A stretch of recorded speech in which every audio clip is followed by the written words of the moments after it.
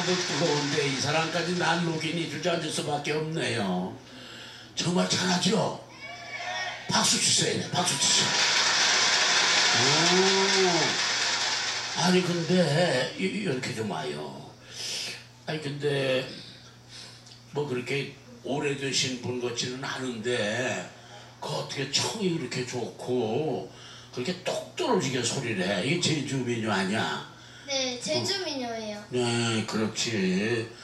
근데 이 제주 민요, 우리 민요, 제주 민요를 비롯해서 소리 배운 지가 얼마나 됐어요? 이제 국악 배운 지가 7개월 됐어요. 에? 7개월? 네, 7개월. 7년이 아니고 7개월? 네, 개요. 이야, 7개월을 배운 게 이 정도면 정말 정말 국보입니다, 국보. 박수 한번 더 치십시오. 이게 참 난리 나네. 오. 그 마음에 7개월 된 실력이 이 정도인데, 하여튼 우리 국악을 하고 특히나 이 창고등 하려면 목소리가 좋아야 되잖아. 네. 그런데 뭐 잘못되면 힘도 들고 그런데 힘 안 들어요, 지금?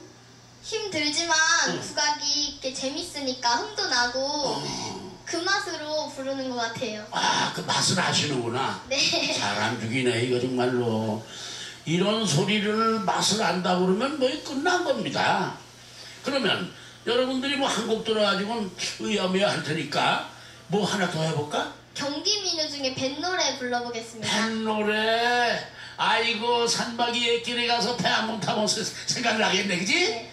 이야 뱃노래 뱃노래 좋습니다 뱃노래 나가자 함께 불러주시면 감사하겠습니다. 네 함께 좀 불러주세요 네 허기야디